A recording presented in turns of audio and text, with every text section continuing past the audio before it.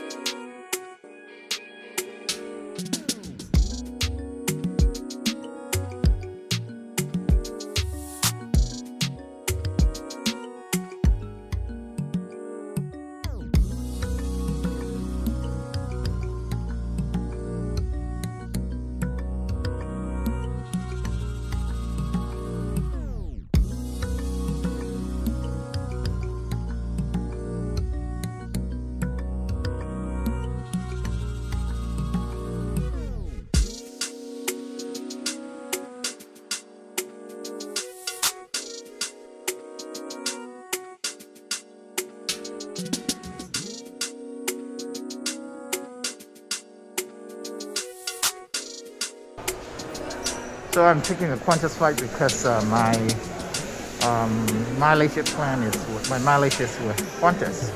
So I'm using around like 50, just over 50,000 points to get a return flight to Canberra plus um, one night hotel for the for the wedding.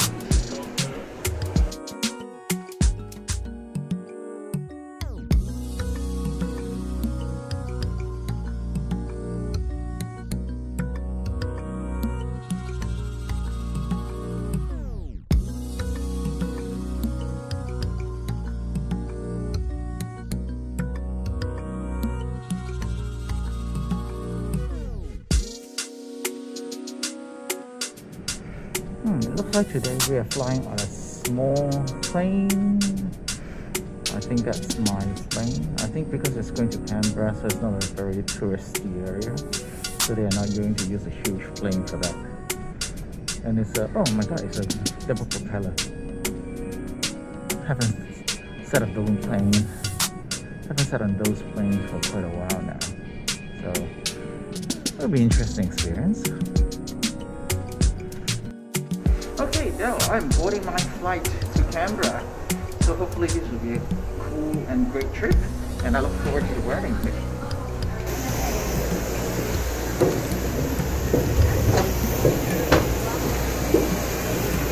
Oh, raining. Yep.